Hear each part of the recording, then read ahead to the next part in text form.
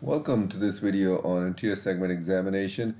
Here we're going to show you a very interesting anterior segment finding on the surface of the iris.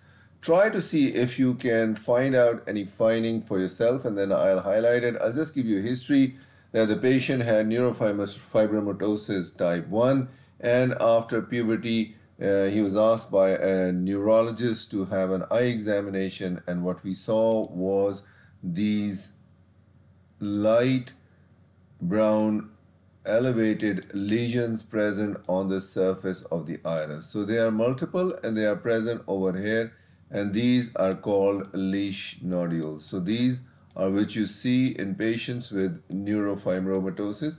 Along with this, you will also get uh, cafe au lait spots, axillary freckling in these patients but uh, the, one of them is present in 90% of these patients, these Lisch nodules, and this is typically pathognomonic of uh, this disease.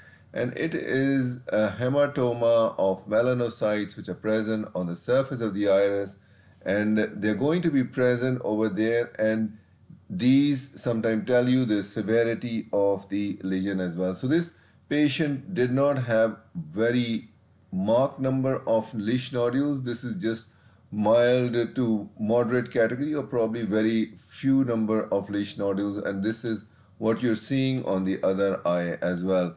And if you look uh, on the internet and look at blue irises, they are probably brownish colors which, which you will see in those uh, uh, patients. But in our race, they tend to give these lightish, lighter colored appearance in this so if you know about these lesions, do pick them up and you can very easily pick them up. Sometimes you are the first person to pick up the disease by just looking at those Lisch nodules which are present over there.